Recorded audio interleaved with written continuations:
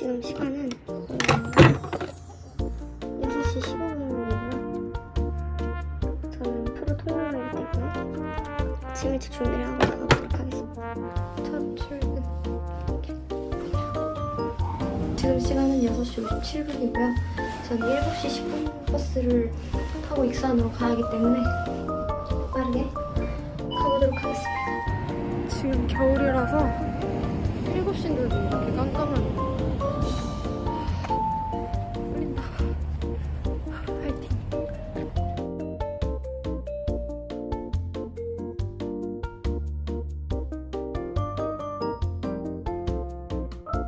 출근 첫날입니다. 와. 지금 지문 등록을 끝냈고 이렇게 출입증도 받았어요.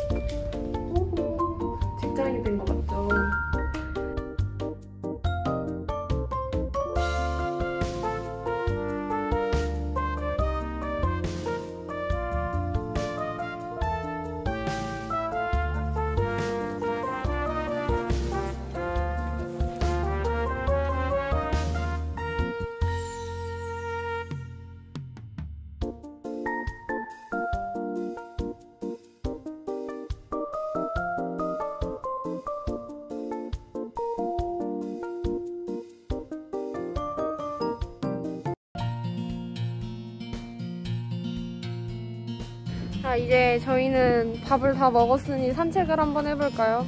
그 여고 시절에 회전 초밥을 하러 나가는 길입니다.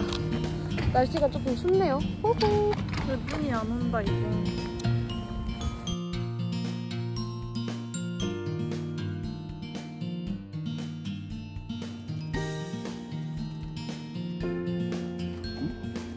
너네들이 학교 가가지고 너네 학과에 설명을 하는 거야.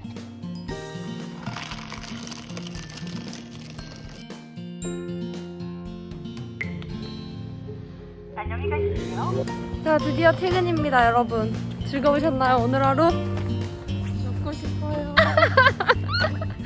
저는 이제 셔틀버스를 타러 가보겠습니다